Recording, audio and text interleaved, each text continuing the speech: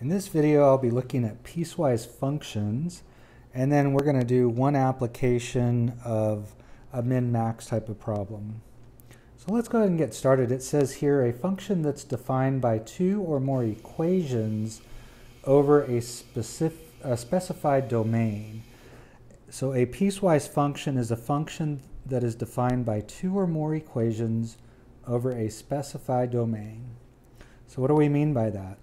Well, if you look here, it says f of x equals y plus 2 for x less than or equal to negative 1. So if my input is either negative 1 or smaller, I'm basically going to use the function y equals x plus 2. Now, if um, x is between negative 1 and 2, not including either negative 1 or 2, then we're going to use y equals x squared. And then finally, if our x value or input is greater or equal to 2, then our output is going to be 5. Or we're basically using the equation y equals 5. All right, so if you look at the first one here, a, f of negative 3, let's see, f of negative 3, well, negative 3 is certainly going to be less than or equal to negative 1, and so we're going to use the first piece, x plus 2. And so basically, whoops, let me change colors here. So basically, f of negative 3, we're going to use x plus 2, so it'll be negative 3 plus 2. So we're using the first piece there. And of course, that's going to be negative 1. All right, let's look at the next one, f of 1.5. Now notice 1.5, again, an x value or an input, is between negative 1 and 2. And so this time we're going to be using this piece, y equals x squared. So f of 1.5, we're going to square that that input. So it'll be 1.5 squared. And uh, let's see, I think that's 2.25. Let me double check my work here. Oh goodness, where did I put that? It is 2.25. Okay, so let's move on to, actually I'd encourage you to try the other two. All right, let's see how you did. So f of 8, so here we're going to use this piece because our input is greater than 2. And so we're going to have, um, well, our output's going to be uh, 5 no matter what. So f of 8 is just 5. All right, last one. f of negative 1 well, negative 1 is going to be part of this piece here because that's when our input, or x, is less than or equal to negative 1. And so f of negative 1 is going to be negative 1 plus 2, which is 1. All right, let's go ahead and move on to the next slide. So now we're going to do a graph. It says graph the piecewise function. Use the graph to find um, the domain and range for the function. So our function is f of x equals 1 half x, and that's for x uh, less than 0. Or it's going to equal x plus 3 when x is greater or equal to 0. So notice 0 is our, like our turning point here x equals 0 is what I call a borderline value. And so when we do our graph, we're going to want to plug 0 in to, to both of the two functions. And that's going to help us to see what's happening when our x, well, basically when we go from one piece to the other. All right, so when x is less than 0, we know that y is equal to 1 half x. And so let's go ahead and make a table of values. And we know we want to have 0 on there, and then we need some other values less than 0. So I chose negative 1 and negative 2. So if I plug in 0, 1 half times 0 is 0. Now keep in mind this point is not going to be on the graph. It's going to be a, a borderline value, and I'll show you how I graph it. If I plug in negative 1, 1 half times negative 1 is negative a half. And now if we plug in negative 2, uh, we're going to get negative 1 here. Negative 2 over 2 or negative 1. And so let's go ahead and plot these points and draw the line. We know it's a line because it's a linear equation since x is to the first power. And so that's the piece of the graph when x is less than 0. By the way, notice I, I put this little gray line there. That's just to help me remember where we go from one function to the other. All right, so now let's look at the other piece. For x greater or equal to 0, we're going to be graphing uh, y equals x plus 3. So again, we want to make sure that we put 0 in, as a choice for x, and then uh, some other values where um, we're greater than 0. So how about 0, 1, and 2? So if you plug in 0 into this piece, y equals 0 plus 3, that's going to be 3. If you plug in 1, 1 plus 3 will give you 4. If you plug in 2 for x, 2 plus 3 will give you 5. And so when we graph this piece, it's going to look just like that. Now I want you to notice when I did the first graph, I put a hole here because the point 0, 0 was not part of that graph, but that was the borderline value we have this line here goes all the way up to that point. And then once we get to 0, you can see we start on the other graph at y equals 3. All right, so now we're supposed to give the domain and range of this function.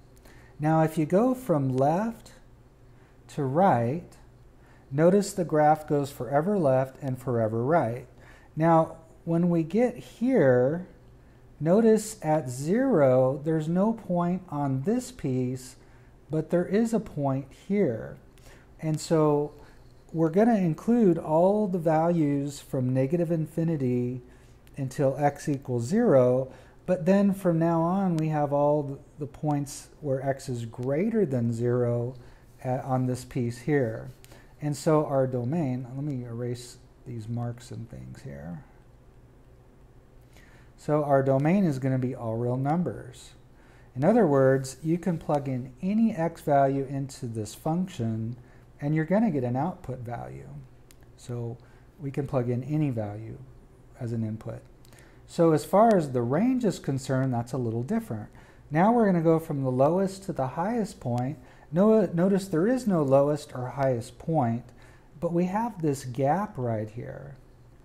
And so basically, we're going to start our range in negative infinity land until we get to this point where y is equal to 0.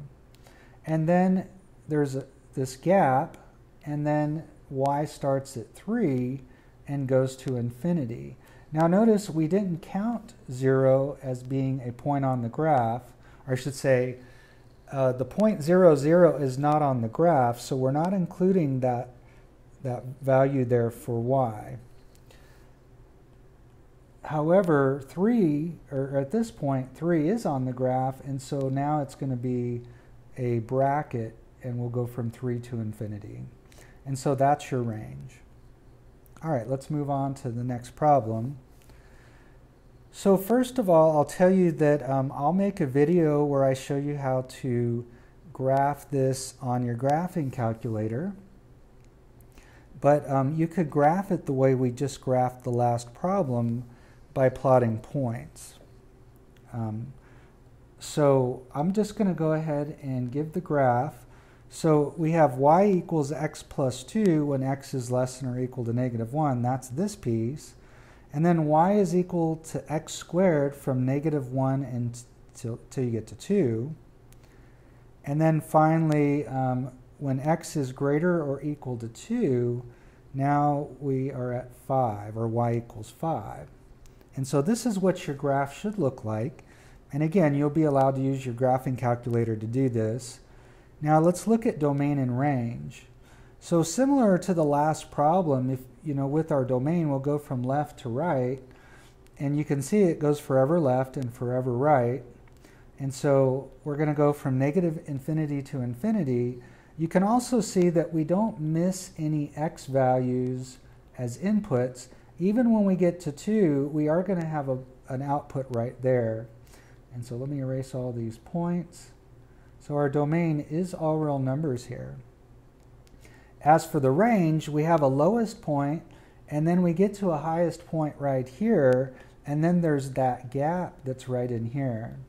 So the y values are going to go from negative infinity to 4, and then notice what happens after that. The output will always be 5.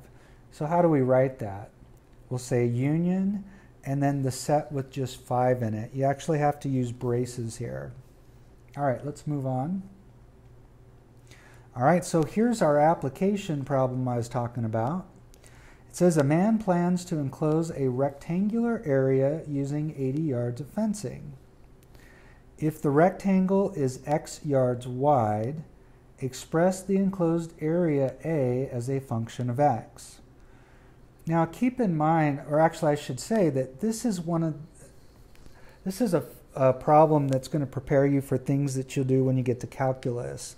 And so it's a great problem for that to get you ready. And uh, it's less than elementary, it, it's more challenging than the ones we did previously as far as applications go. But let me show you how we do this.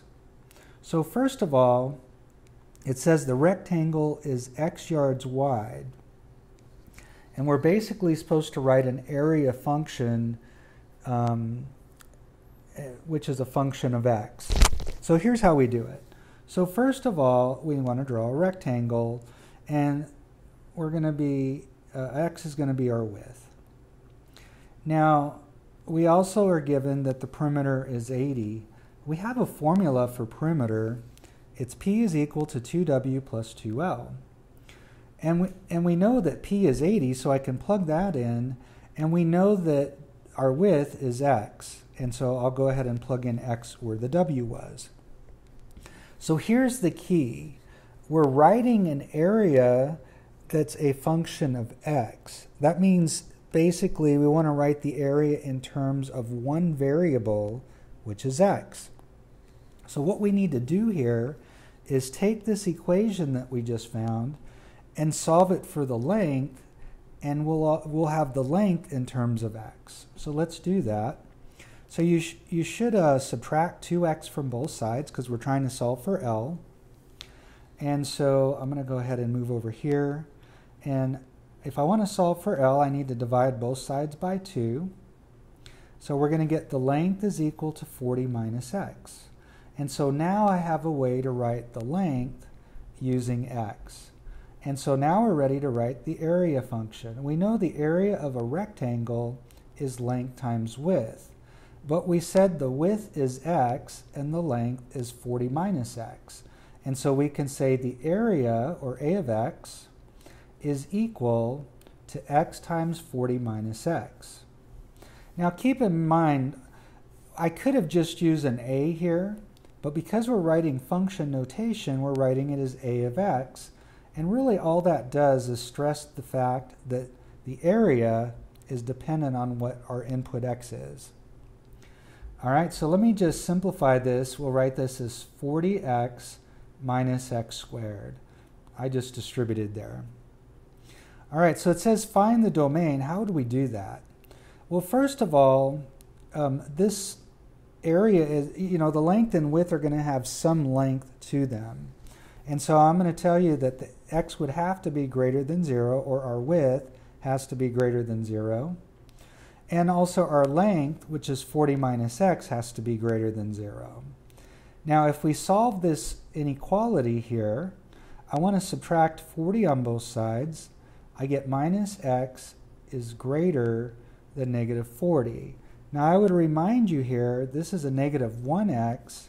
We're going to divide each side by negative 1, and when we do that, it's the nature of inequalities that when we divide by a negative on both sides, in order to keep, um, in order for it to continue to work, you have to reverse the symbol. that's always the case with inequalities.